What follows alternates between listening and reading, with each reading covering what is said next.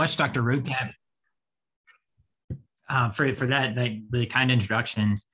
Um, and I appreciate the opportunity uh, to join you this evening for a conversation about advocacy communications. Um, on this first slide, I've, I've included a copy of the Virginia Dental Journal um, for, for a few reasons.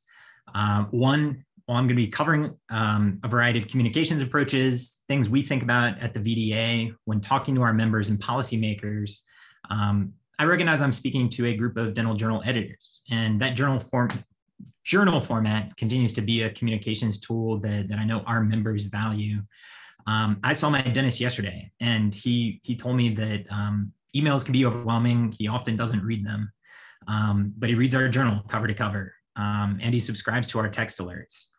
Um, every member and it takes in information in a different way, um, and with so many social media platforms, advertisers vying for their attention, the physical print magazine continues to be an important method for us to reach our members. so I'm, I'm grateful to be here. Um, the second reason I have it on, on the opening slide is because uh, this particular cover of the Virginia Dental Journal um, was about advocacy. Um, it, it, was a play on the iconic Geico commercial, if you remember, uh, so easy a caveman can do it.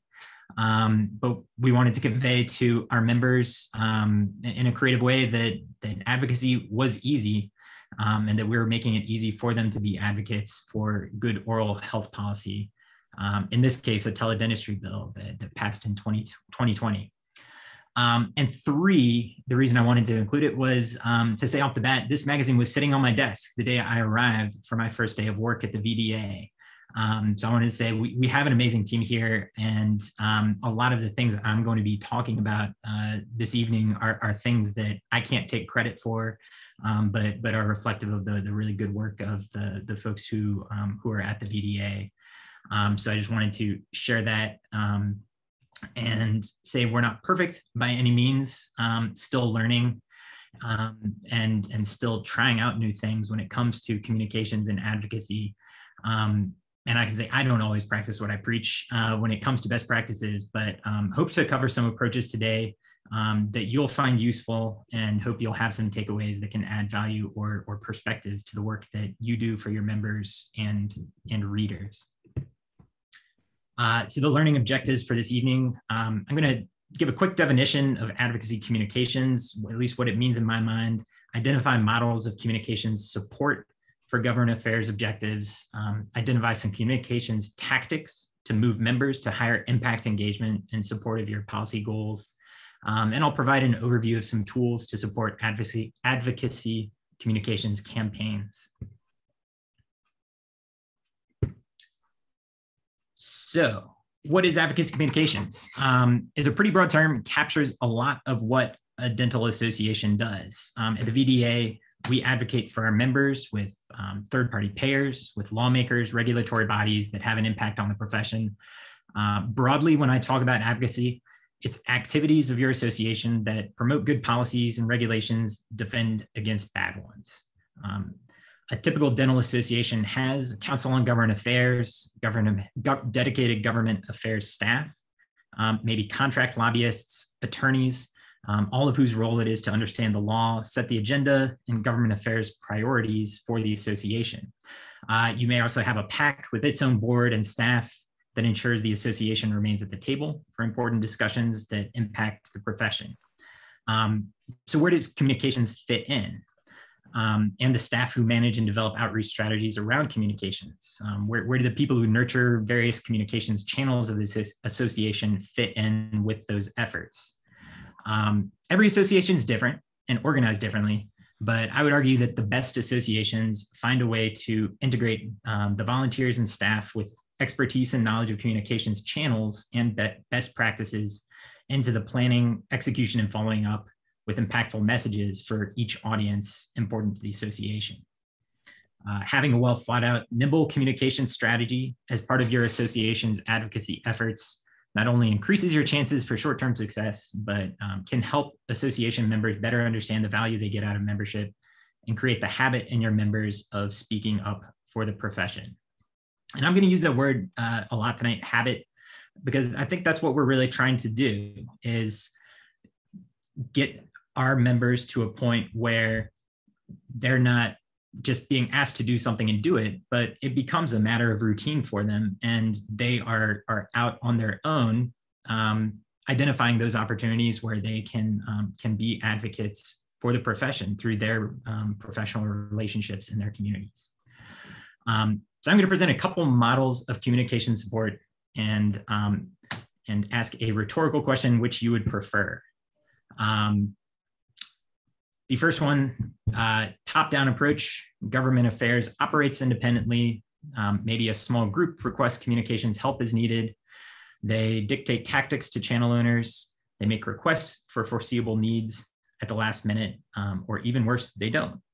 Um, if you have a an association like this, um, you're going to have missed opportunities, frustration, inconsistent messaging, um, and the result is your members are going to be disengaged. Um, what I would say a better model is one that's proactive. Communications and marketing experts um, are participating in government affairs planning meetings.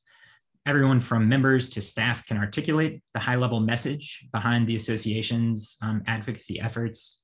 Um, communication specialists um, make channel and tactic recommendations based on their expertise. Advanced planning allows the team to pivot when circumstances change. And the result is a clear message. Um, you identify new opportunities, and the members can see the impact of, of what you're doing as an association. Um, so, where do you start internally? Um, I, will tell a personal story off the bat. Um, my my first job in politics in Virginia, um, I was a tracker.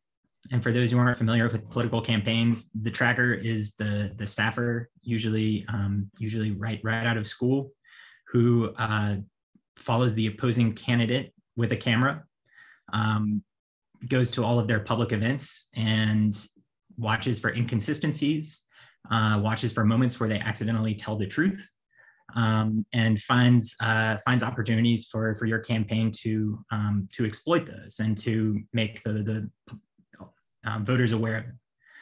Um, so I was doing that. I spent a lot of time on the road, more time on the road than I did in the office, um, finding finding the events of the opposing candidate and and attending them.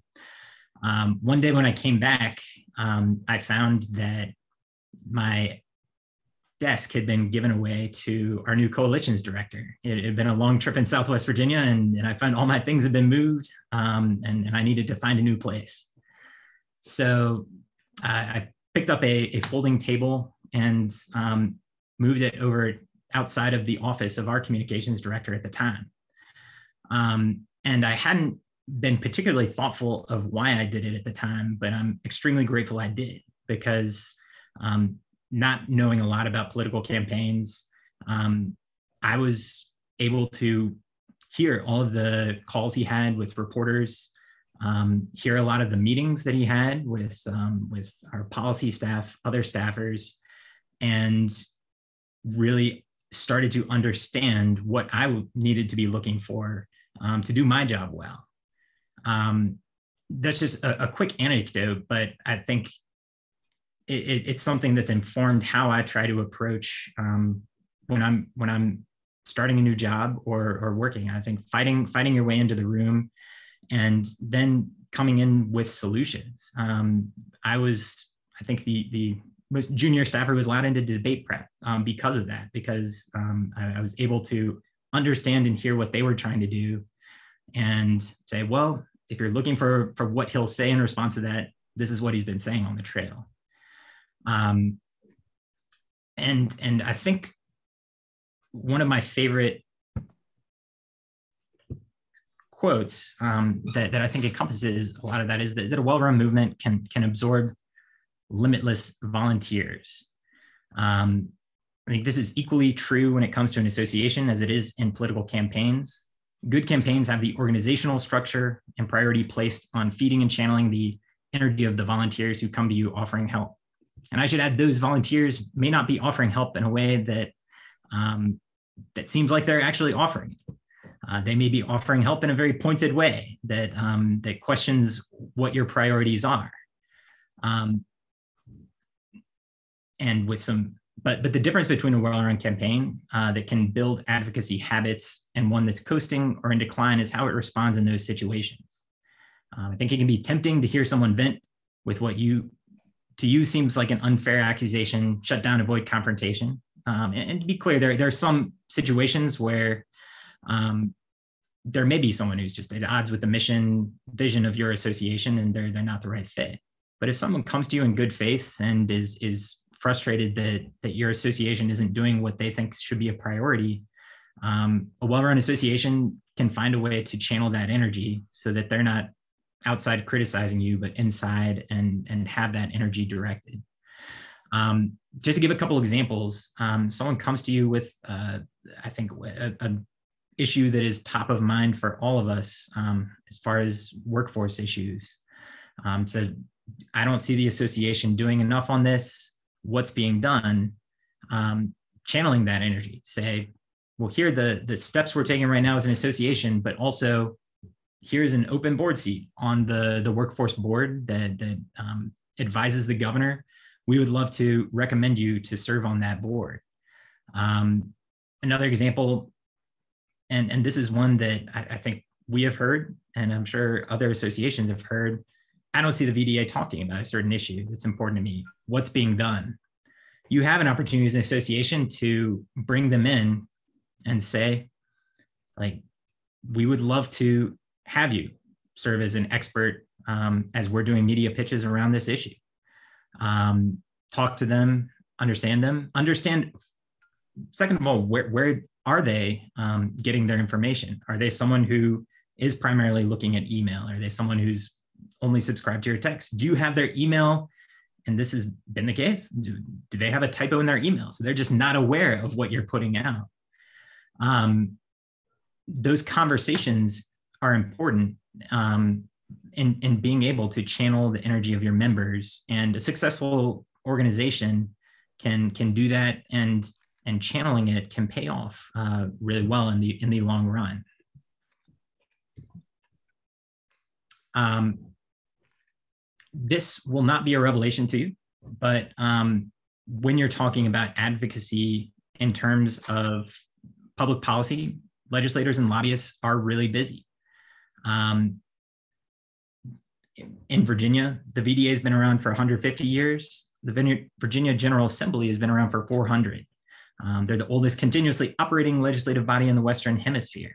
And we have 140 part time legislators um, who work there. They have day jobs as attorneys, doctors, teachers, and we have a actually a fantastic state senator who works as a pediatric dentist. Um, they're in Richmond for only 60 days um, on even years, which this is one, 45 days on odd years. Um, and this year they decided on more than 3,100 bills and resolutions. Um, decided how to spend a $60 billion budget, although uh, I should say, in, in this this particular year, they um, they went over time on the budget and waited until almost July to to decide on that. Um, but they're busy. They're they're being stretched in in a lot of different directions. Your lobbyists, um, government affairs team have personal relationships with legislators, and they operate as trusted sources of information on oral health care as they advocate for for good policies. Um, where good communications and organized advocacy around your issues um, come in is they create an environment in which your lobbyists can walk into a legislator's office already primed for success. Um, this is a quote I, am always associated with Haley Barbour, actually, in, in preparation for this presentation. It, it appears he was quoting uh, Stephen Covey, um, but it's, it's something he said quite a bit. Uh, Haley Barbour was a lobbyist turned um, governor, uh, taking a, a, different path than many other elected officials uh, take in terms of uh, you, you see it much more commonly um, people people serving in office and then and then um, getting into lobbying, but um, it's something he said a lot and and what I took from it is you have precious time with the attention of your audience, whether it's voters, um, legislators, your members, um, you have to keep the main thing the main thing. Um, don't waste your time getting distracted on tangents, getting bogged down in technicalities. Um, when you're messaging, um, in, in support of, uh, of policy, you have to focus on, on focus your message. Um, so four things uh, in messaging to lawmakers. Um, you have to be direct.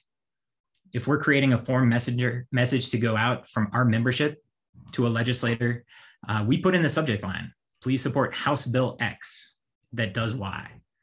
Um, without the bill number, the legislative aide who tracks constituent correspondence has no easy way to report those messages. Uh, we put in the first sentence, I am a constituent. And in the signature line, uh, we put the adv advocate's name and address. Uh, if they choose to edit the message, we allow it. And, and, in fact, we encourage personalization. I think that that has uh, more of an impact when, uh, when a legislator receives a personal message that, that stands out. Um, but it's important for the legislator to know that this is someone they were elected to represent. That's, that's their job. Um, I've seen other advocacy groups uh, flood messages to everyone on a certain committee that's deciding their bill, inviting people from all over the state to spam their inbox.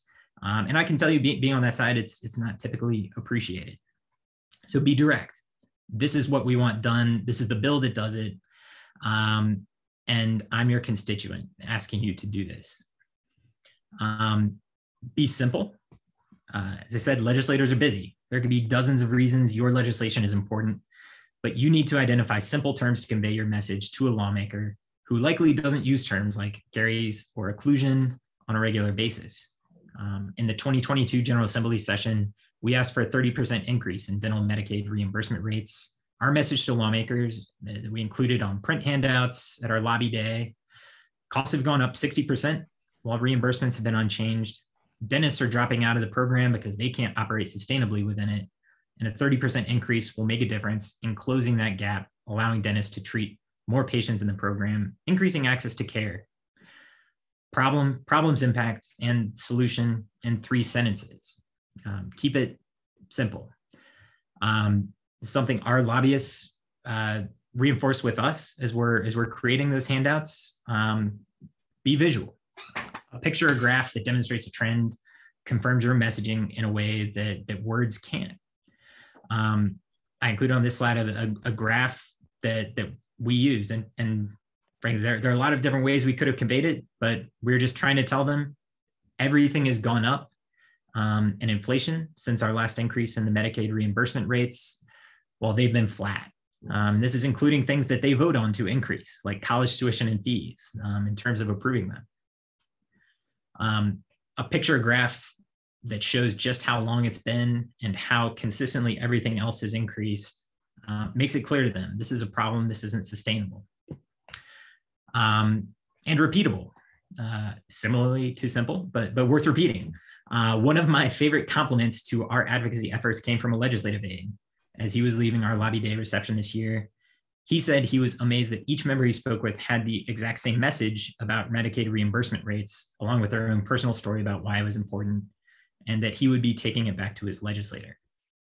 If a legislative aide hears your pitch and leaves agreeing with you, but can't articulate the issue themselves, they won't be able to convince colleagues to support the issue or be able to bring it back to their legislator to fully brief them. Um, that's where your physical handout helps. Um, but if it's locked in their head um, and they can articulate articulate it, it's harder to lose than a handout. Um, it can be a repeat, repeatable anecdote of the harm of a policy. For example, dentists are dropping out because it costs them more to treat some patients than they get in reimbursements through the program, or just simplifying the stats. Costs have gone up more than 60%. We're asking for a 30% increase in reimbursement rates. Seems reasonable. Um, make it easy for members to engage. Um, this is the other side of the equation. How do you get members to engage? Well, the first step is education member education is important, both in terms of them understanding the priorities and impact of the association's advocacy, but becoming advocates themselves. Uh, members won't advocate for an issue that they don't understand. Start with an easy action. Your easy action could be send this form letter to your legislator. Um, takes a couple minutes for them to review, send it. Always follow up with a thank you message, and whether immediate or, or following up days later, a follow-up to allow them to take a more impactful action. Um, for our most recent campaign, we had an automated message that went to action takers from our association CEO. Said, thank you for taking action. Please share this action with your colleagues. and if you haven't already scheduled an in-person meeting with your legislator, please reach out to our government affairs director, Laura Givens, to set that up, including her email. Not everyone's going to do that. Um, most people will stick with the easy action, but for those who are willing to, um, they're, going to be in the universe of people who took that easy action. Um, and as soon as they have, it makes it easy for them to do it in the future. Um, it can be intimidating going to your first event, um, especially if you're a dental student, going to your first lobby day, not knowing what kind of questions you're going to ask, um, speaking with a legislator, not wanting to be on the spot and not knowing the answer to your to their question. But once you do it, once you realize they're there to represent you, um, it becomes much easier. And so our role as an association is to make each step that our members take along that road towards becoming more engaged advocates as easy as possible for them. And finally, thank them for taking action. Um, make it easy for them to thank their legislators and make sure your advocates know that that you appreciate them as as members for taking action and that their actions are making an impact.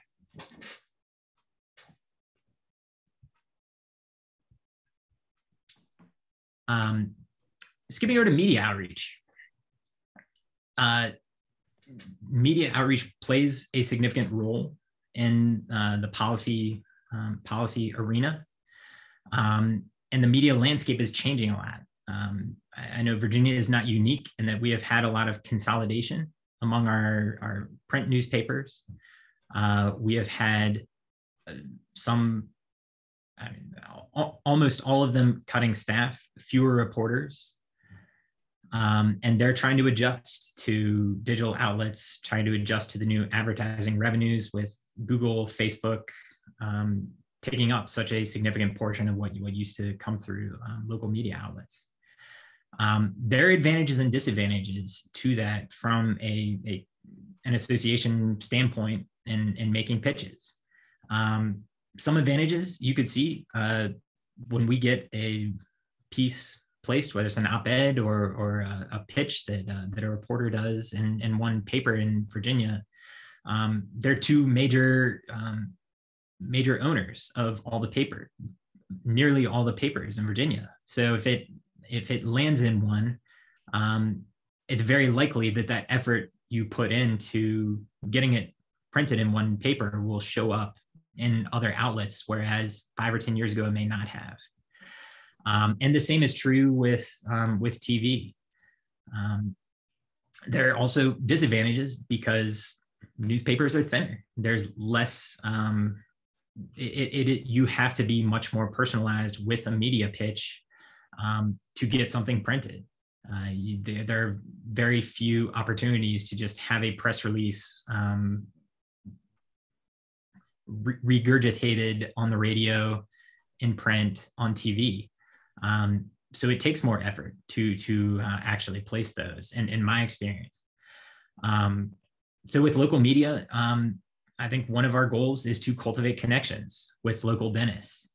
Um, we we've had some success with that. And one of my favorite things is when um, we don't hear from the reporter, but we hear from a dentist saying, "This reporter I spoke to a few months ago reached out, wants to talk about X issue. Um, is there anything I should know from the VDA before we before we go ahead?"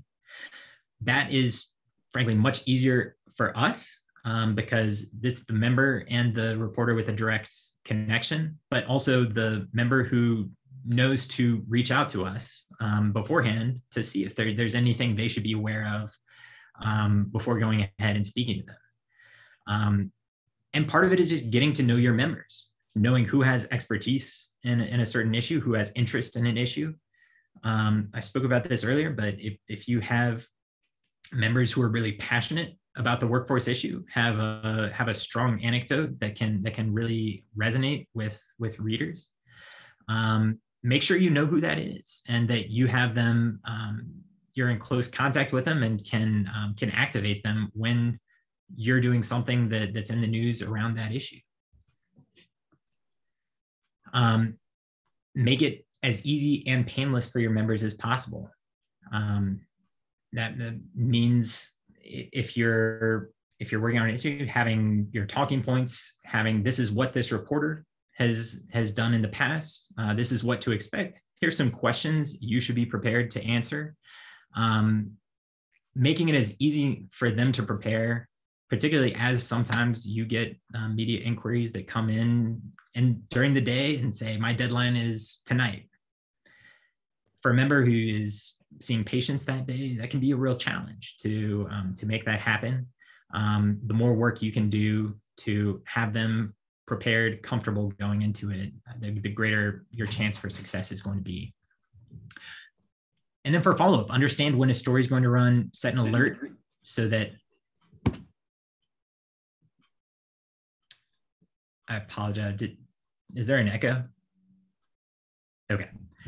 Um, set an alert so that uh, the member who participated can receive the finished product um, with the right context uh, from, from you. And that, um, I mean, I wish I could write the stories that um, that run, but not every story is going to be told the way, the exact way we want to. So understanding and, and, and presenting it to the member who spoke with the media um, with that context, having it come from you um, gives them a chance to to fully understand what's going on and allows you as someone working on the association to say um, this is what we're doing to correct it um, and and what we're doing to follow up with the reporter if it's something that needs to be. Um, but placing that story if you're working on something to support your advocacy efforts is the first stage. Um, it's great when they see it in the wild. But um, if you're submitting an op-ed, um, this is where you can work with your government affairs team to um, send a note to lawmakers, make sure they see it. Um, it's an opportunity in Virginia, for example, we have the Virginia news clips, something read by almost every elected official, lobbyist in Virginia um, from the Virginia Public Access Project.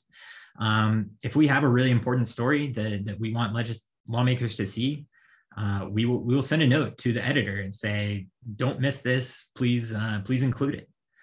Um, knowing where members and lawmakers are getting their news um, allows you to uh, get in front of them and make sure that you're you have as many outlets as possible for them to um, for, for them to absorb that and digest it.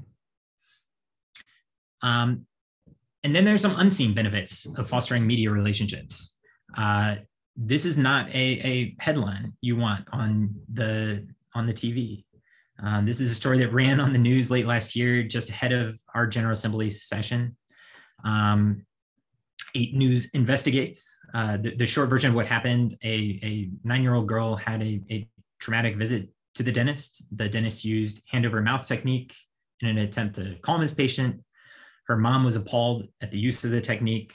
She went to her local legislator to ask for legislation banning the practice in Virginia.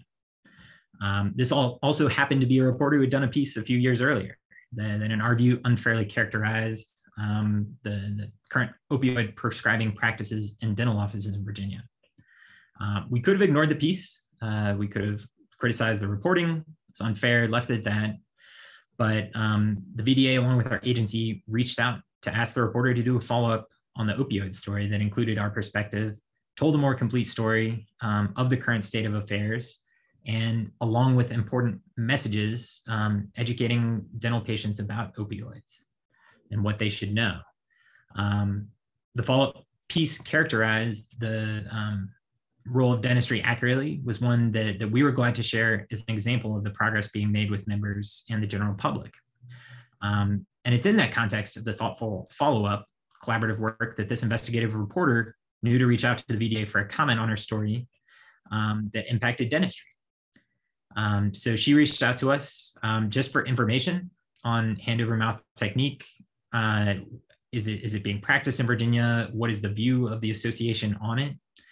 And we were able to connect her with a member who had served on the Virginia Board of Dentistry to provide her background on the technique correct some of the misconceptions that the mother and the reporter had about its use in Virginia, um, and also importantly to direct them to what, what we believe to be the appropriate venue to petition for that change um, in the Board of Dentistry um, regulatory process rather than bringing it to, to lawmakers. Um, the story ran.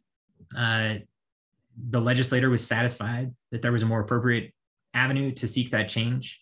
And the VDA member with expert knowledge um, and briefed on the facts of the immediate issue, as well as our history with the reporter, was, was able to accurately characterize it.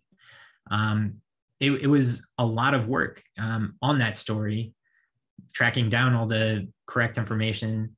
Um, and frankly, the story that ran was not uh, it was not one that that reflected well on dentistry, but it was also one that we were able to um, get the facts out there and to prevent it from becoming an issue that would have led to a legislative fight that we believe to be um, unnecessary and, and a distraction from the work we were trying to do um, during the General Assembly session.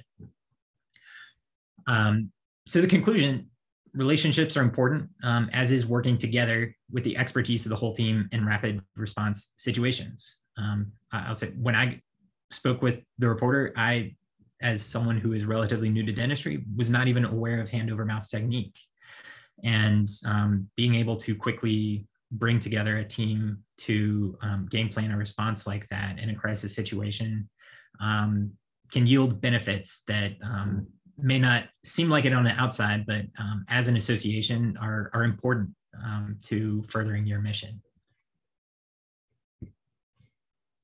Um, and, and another example I'll give is, is just fostering advocates. Um, this pic, pictured here is Tam Nguyen. Um, he was a D1 student at the VCU School of Dentistry um, this year. Uh, the VCU ASDA class president spoke to his class, encouraging him to register and attend our lobby day. Uh, we had posters with QR codes set up at the school to make it easy to register. Our government affairs director um, briefed him and other students over Zoom beforehand on what to expect at lobby day and the issues we were prepared on, the issues we were focused on. The night of the our the VDA's lobby day, we typically have a reception the night before, and um, followed up with a, a morning breakfast and um, going out to meet legislators. The night of the reception, he was paired with VDA members who could introduce themselves and after hearing a, a compelling story that he shared about his tr- struggle um, as a child to get access to dental care, um, they encouraged him to join them in meetings with the legislators the following day and, and to share it with, um, with, uh, with lawmakers. Um, so the following day, the ASDA class president, who had heard his story, shared it with me along with his contact information. Um, we set up a 30 minute call with him during his lunch break at school took notes and turned his story into an op-ed to submit to the Richmond Times Dispatch. And this is again, recognizing that members and, and especially dental students are busy. Um, we tried to make it as easy as possible for him to share his story in his own words, um, but not forcing him to sit down and draft a full op-ed um, as, as, someone who, who hadn't hadn't done that before. Um, and after his piece ran, um, a lot of self-reinforcing mechanisms uh, took Tam to additional levels of advocacy. Uh, he was contacted by the president of VCU to thank him for the message. It was shared widely by dentists and faculty at the school. Um, he was invited to speak about his experience um, on a dental medic and and his experience with the dental Medicaid program by a state health policy podcast. Uh, working with Shannon um, Jacobs, Dr. Roadcap, we were able to highlight his efforts with a Q&A in the next edition of the Virginia Dental Journal. Um, and finally, now Tam is a student ambassador for the incoming class, um, who can now speak with conviction from his own experience um, as a second year dental student about the impacts um, that those students can have by being a part of organized dentistry. Um, the true value in fostering member advocates is that opportunities will come to them when we're not there and they'll be ready and, and confident to seize them. I mentioned the ASDA president who spoke to his class. Um, I actually got a call last week um, that as he was walking back from class, he saw our governor getting out of an SUV and said hello. Uh, the governor came over to speak with him and a few other students. And uh, because he had been at Lobby Day, been engaged in our efforts, he was a, prepared to thank the governor for including the full 30% Medicaid increase in the budget in person at a chance meeting. Um, those are the kinds of habits of advocacy that um, as an association we're, we're trying to foster. Um, change gears a little bit. Um, one of the other, I think, valuable things that um, a communications team can bring to the advocacy process is listening and news alerts. Um, I set up a lot of Google alerts on on my computer, um, just on any topic that we're working on, uh, along with Virginia, so I can stay aware of anything that the reporters are working on on those subjects. Um, social media listening uh, is something that that typically your your lobbyists and um, government affairs team is not going to necessarily have on their radar. Um, but your legislators are going to be on on social media talking about issues, and the faster that you can identify something that could potentially be an issue for for your association, um, the more of a chance you have to address it before it becomes a, a, a bigger situation or, or to take advantage of it if it's an opportunity. Um, subscribe to email lists um, and read them, um, whether it's from your state health department, governor and state officials, um, if you have a state news aggregator, uh, and following other state dental associations. Um, I, I, really appreciated the opportunity to hear um, the speaker from Michigan earlier in the year who who um, spoke about social media and um, and went ahead and got on their text alerts and it's as as they're dealing with a similar medicaid issue in their state it's been um, valuable to me seeing what what they're saying how they're messaging about it um, over their text alerts um, so i would also encourage you um, and I believe I have it in a, in a couple slides, but text VDA to 52886 if you'd like to see what, what we're telling our members. um, a few tactics, and the, these are, are uh, tactics that I think are, are things that we've used with legislators as we're going through the, the legislative process and um, creating advocacy messages. But um, one is just the thank and spank message. Um, what I mean by that, when uh, when we develop a, a form uh, letter to go out to legislators, if you are informing the legislator about an issue and encouraging them to support it, but it's a legislator who's sponsoring your bill, um, they could be miffed that we are not educating our members that they are they are the ones carrying it, that they're championing it. Um, so make sure where you have legislators who are advocates who've already said that they're supporting you, um, that you're differentiating those messages and setting it up so that they're they're receiving a thank you rather than um, and and and reinforcing that that you appreciate what they're doing as opposed to encouraging them to support something. Um, hold messages until the time is right.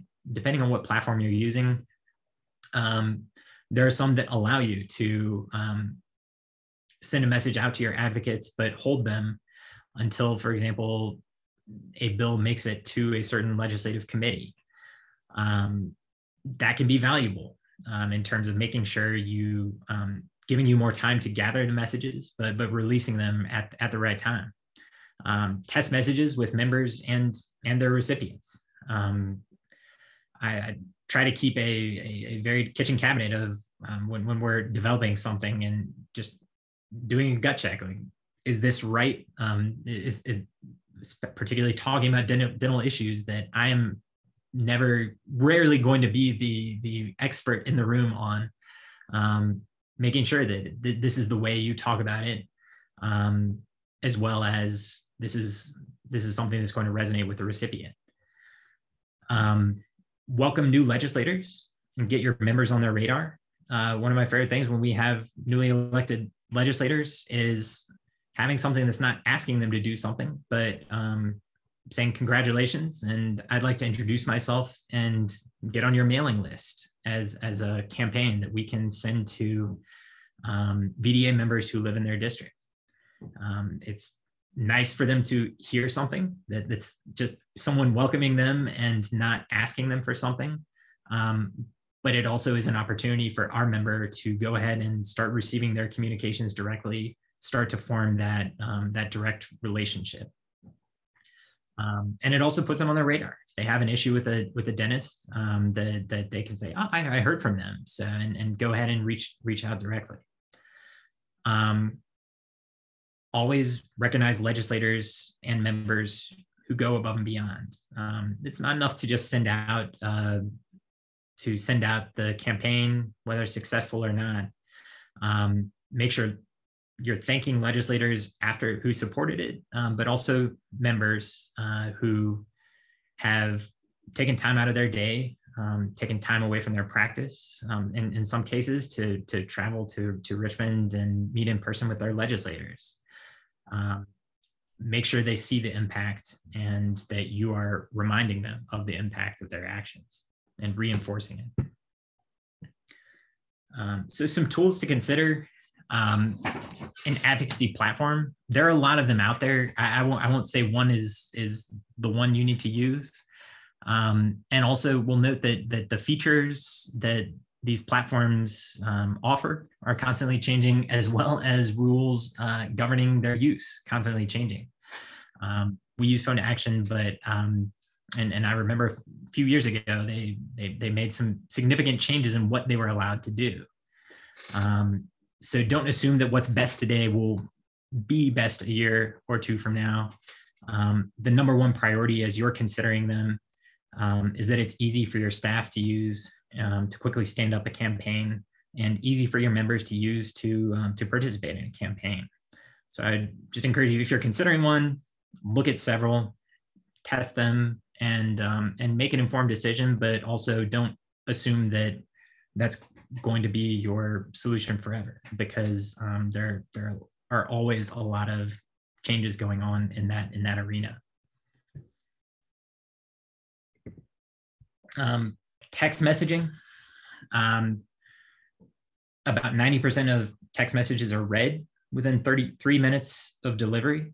Um, it's an incredibly valuable tool for what it is um, and, and the ability to deliver a short message that's going to reach your audience. Um, what I would say is don't abuse abuse it. Um, every time we send out a text message, I shouldn't say every time, but more often than not, we'll get at least one unsubscribe from a member um, because it is an invasive method of communication. You can people will typically turn off alerts for a lot of social media or email or other things, but they don't turn off alerts for their text message. So make sure you're using it sparingly um, when it's important and when it's something that um, that is really truly important for your members to see. Um, and I would also say use all channels at your disposal um, as opportunities to grow your text message audience, um, including print, including in the journal. Um, use it to communicate in a crisis. our largest leap in text message subscribers subscriptions um, came uh, during the early weeks of COVID 19. Um, and we put out frequent email alerts that were getting uh, a lot of engagement from members, but also because we didn't want people missing something, um, at the bottom of each of those communications said, don't miss an update and subscribe to text alerts by texting VDA to 52886. Um, some reading and podcasts I'd recommend. These are just a few. There are a lot out there. Um, the Business of Politics show is a podcast that I, I listen to on a regular basis. Um, they have interviews with um, different people who are in the political arena, um, talking about new technology that's being used on campaigns. Um, Facts About PACs podcast um, is a, a I think, a really valuable resource. Um, it's uh, produced by um, the National Associ- it's a, a PAC National Association. Um, but they have frequent guests from national PACs um, talking about their approaches to um, everything from advocacy, government affairs, fundraising, member engagement. Um, and it's it's a good resource with pretty manageable chunks of conversations. And the, the third one is best practice digital, and that's a an e-newsletter that comes out on a weekly basis. And it's also talking about um, trends in digital advertising um, that impact um, impact campaigns. Um, just a few that, that th- those are some of the things that I, I help me stay up to date on um, on how things are changing. Um, and then for some final thoughts, um, I, I, think advocacy can be a positive habit that you instill in your members. Um, remember that tools, tactics, and rules are always changing.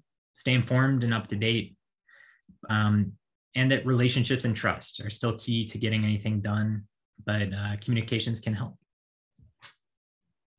And with that, I'll be happy to open it up to any questions or, or discussion. Thank you, Paul. It's Laura. I um, received a few questions. Um, one of them um, has to do with what hap- how do you recommend dealing with, um, you know, so you're uh, you know the the official publication of an association and so you're uh, working with policies that have been promoted um, and and are being working toward but what if you have a member or or maybe a few who are kind of going off on their own and they're communicating uh, with the media and mm-hmm. legislators uh, something that might not be what the association's policy is but maybe they're because uh, for some for whatever reason maybe they're getting some traction um, how how should we deal with that kind of issue well and that, that's a great question because it, it is a challenge um, the best way in, in my view to deal with that is where possible to um, come to an understanding with the if it's a member or or other other group. Um, and so that it doesn't get to the point where they they feel that their recourse is to seek the media.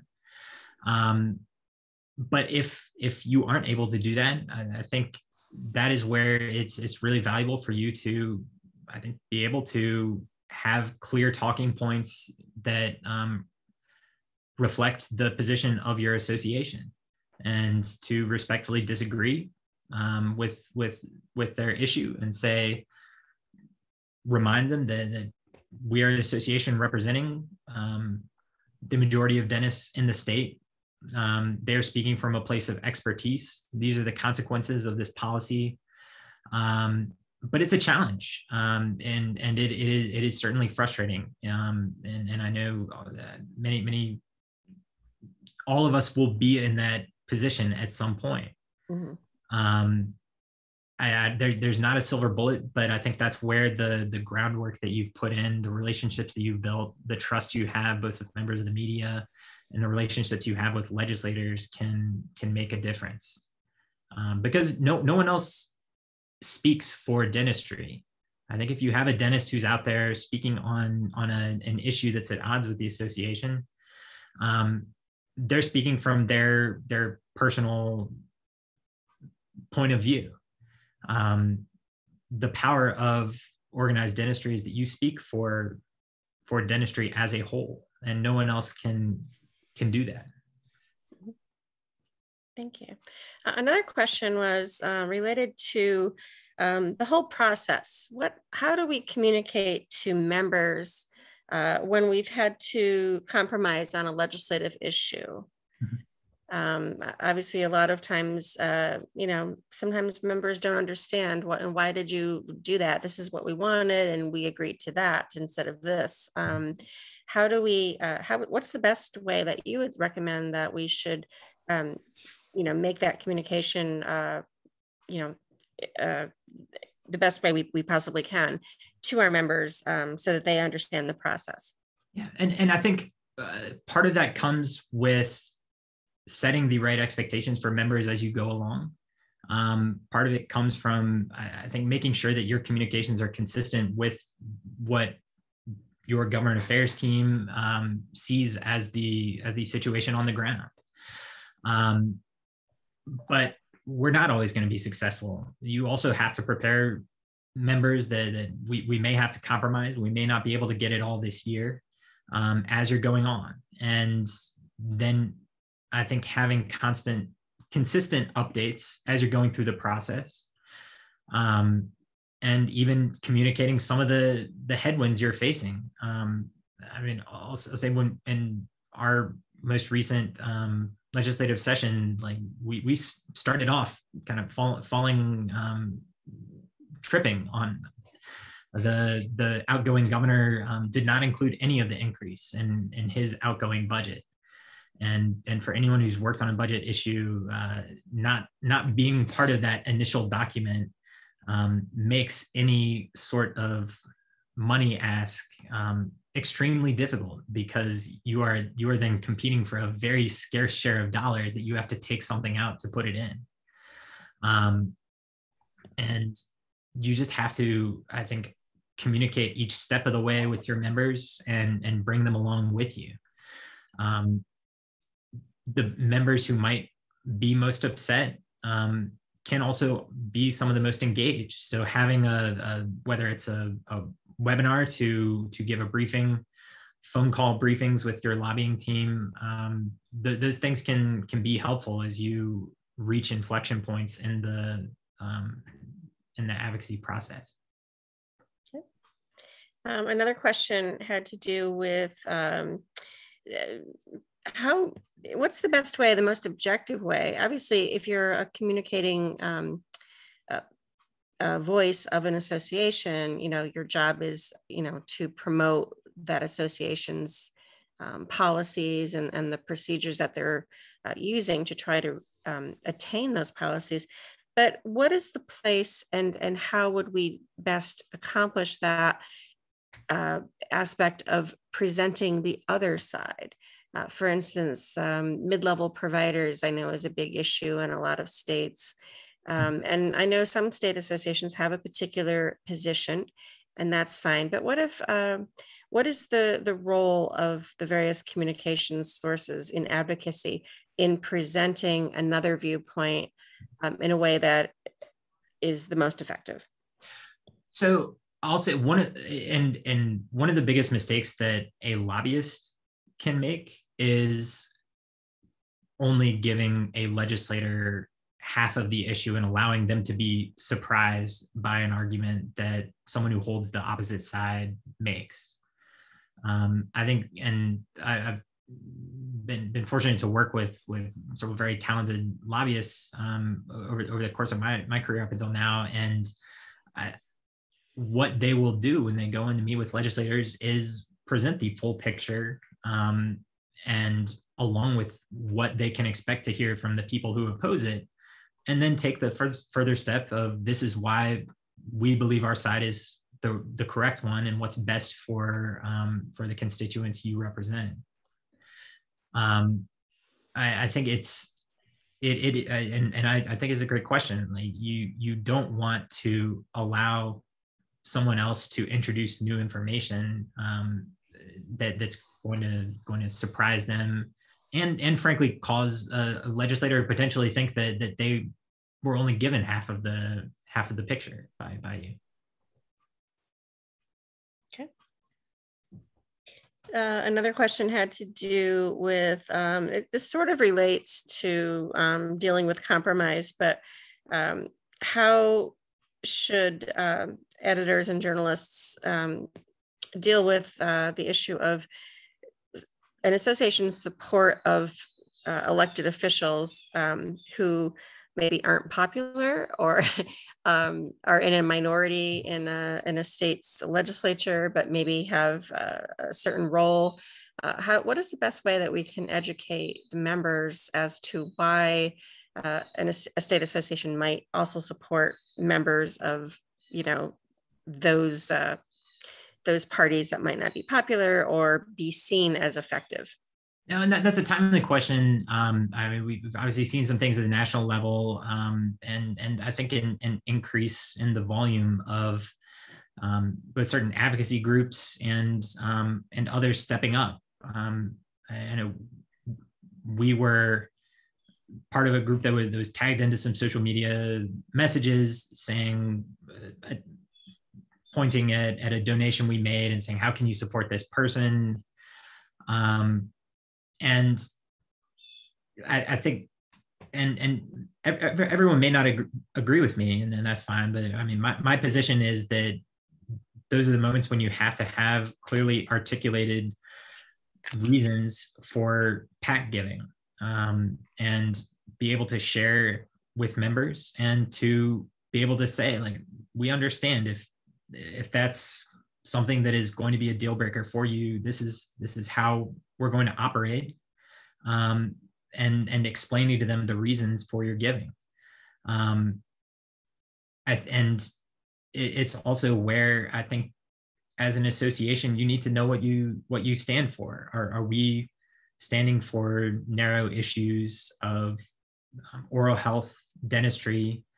Um, or or are we going to stand for something that that is is more expansive um, I, I think members and and I think there there are different ways to do this, but members should feel empowered to stand up for those issues that they feel passionately about and have very strong feelings about. Um, and I think you can even even provide them advice, vehicles, make connections with groups that that advocate for those issues. But I think you need to know as an association what do we stand for? What are the issues that um, are going to make an impact for our members as a whole, recognizing that not everyone is going to agree on some of those issues. Um, and and I understand that, that it's that's much easier said than done. Um, but I think the more energy as a membership is focused on issues that are dividing us, um, that divide the membership, I think the less energy there is to go into um, the issues that that really um, are, are going to be important and that no one else is going to be fighting except for the, the dental association. Mm-hmm. Um, and then another question that came through, uh, everybody is uh, really talking about um, issues relating to DEI, diversity, equity, and inclusion. And, um, you know, I feel that that's, uh, it's being talked about a lot, but I haven't really seen much, and this could just be me um, up here on my mountain. I haven't really seen much on how are those issues affecting um, our ability to communicate um, regarding our advocacy uh, platforms. Um, what do we need to do, excuse me, to be more, uh, more aware, more respectful, uh, more proactive? Uh, what are some things that you know we as editors and journalists should keep in mind and, and work toward? Yeah, that's, that's a really good question. We had a, a meeting with the dean um, of, of, our dental school recently, and, and that was a, a topic that came up. Um, I think one one of the issues is is that there is, and um, we have some stark uh, gaps in Virginia where if you look at the demographic makeup of our members who are 60 years and older, um, and the demographics of our members who are 40 years and younger, um, we're going to look very different as a profession. And a lot of those um, more diverse members are, are entering their early stages of their career right now. Um, and we need to be prepared to um, incorporate them into the association and make it a place that they want to be because it's it's going to be a choice for for it's it's a choice for everyone. Like is this an association i want to be associated with? Um and that's not i think something that that i can tell you what the solution is. I think that has to come from our membership um and i i think all dental associations state level ada um, need to get those students into the the leadership pipeline early so that that they can inform um, the way we approach those issues. I don't know if that answers your question, um, but I, I, I, I, think it is it is going to be a very important, um, I think, topic um, for the for the foreseeable future. Thank you. Uh, Teresa Gonzalez has a question. Well, Paul, first of all, thank you for the present your inaugural presentation with the group. So thank you for that. That's first. Um, I hear a, a, a, concept, and I heard it in several of the questions, so I want to share it. So some organizations take the approach to saving the whales by saving the marine biologist and not necessarily saving the whales. But in general, there are more constituents than there are dentists in the state, and there are more dentists than there are legislatures, almost universally so. If that is so, how much the uh, discussion is reflective of the population in your state is a uh, winning advocacy approach for all stakeholders. I mean, uh, if, if you would agree to that. The question is, what is if the association uh, has a different uh, viewpoint from the population writ large, the constituency, and then how do you, through crisis communication um, or through um, release of this information, how do you get those groups together? Because everybody wants access. All dentists want access, all patients want access, uh, so where does access meet its um, difficulty? What is the, uh, the rate limiting step? And I think we all know, and that is the payer step. So how do you bring those groups together other than through town halls, et cetera? And what has worked well in the state of Virginia? Over. So, and, and maybe, maybe I don't understand the question. I think eh, what what you raise may be difficult to answer in the abstract, um, when, where the association is at odds with um, a, constituency that, that someone is representing, um, I, I, can say what I have heard our lobbyists say, and and in, in discussions when um, when we've been um, talking about how we should approach certain issues is if, if we're not bringing it to the legislators in terms of the positive impact it's going to have on their constituents, um, we'd be better off not presenting it. Um, if you can't frame your issue on this is going to improve oral health in Virginia, and here's why, um, that may not be the right issue for for your association. Um, now you can have disagreements about the way it, the the impact of a policy. You can have disagreements about whether this would in fact um, be something that would raise costs or increase access. Um, but if it's not something that the association can present as as something that's good for Virginians as a whole, for um, for constituencies, it, it, it, it, you're going to have a challenge, um, and that that may not be something that um, is is going to be a, a priority. I, does that answer your question? It does. It, it, it, I'm not sure the question is answerable. The point is, though, the constituent, everybody is interested in access to care. That, that is a universal desire. Uh, the question is, how do we get groups on each of that together so access stays the central discussion and doesn't become a sidebar discussion or embargoed conversation about who's paying for it, although that is also important. You answered it very well, Paul, um, but it's something that I observe and I look at states in the bottom quintile of healthcare outcomes. Um, the lowest, of course, Mississippi, and then I think West Virginia. But when you look at those states, which is a, a trend data, what is different there, assuming everyone is advocating for the same things, right? We want our legislator to be uh, to be um, compatible with our constituency. So why does it work some places and why does it not work others? And we just don't know. Uh, but those are the fierce conversations which, um, if we don't have a policy we can advocate for, is unlikely. There'll be a dramatic change in the future. And there's a reason why many states remain in the quintile, bottom quintile. Over.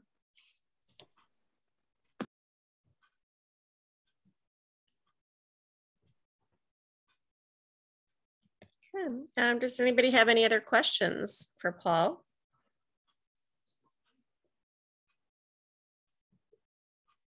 Okay, hearing none, I'm going to turn it back over to Richard. Um, Laura, thank you very much for moderating the uh, the questions and uh, uh, keeping keeping us all engaged here, and and especially like to thank Paul for his wonderful presentation tonight on the, you know, the uh, uh, the advocacy that all of us are going to be involved in whether we like it or not. So uh, again, Paul, thank you. Thank you for a wonderful presentation. While I have the opportunity, I'd like to remind everyone about the uh, annual meeting of AADEJ in Houston, and I believe registration is open on the website. Am I correct? Yes, and uh, something will be going out uh, within the next day or two to everybody uh, that will have another link with more updated information. We're going to start uh, really sending um, uh, sending out uh, more um, frequent reminders about the programming and any updates that'll be coming out. as I said, the first one will be coming out within the next day or two, and then you'll see some things coming out fairly frequently. So, uh, but if you have any questions, please don't hesitate to contact me and we will help you out. Again, thank, thanks to Laura and thanks to Paul for uh, a wonderful presentation. I wish everyone a good evening. Thank you. Yeah, thanks everybody. Thank you, Paul. Thank you, Paul. Thanks. Good night. Thank you.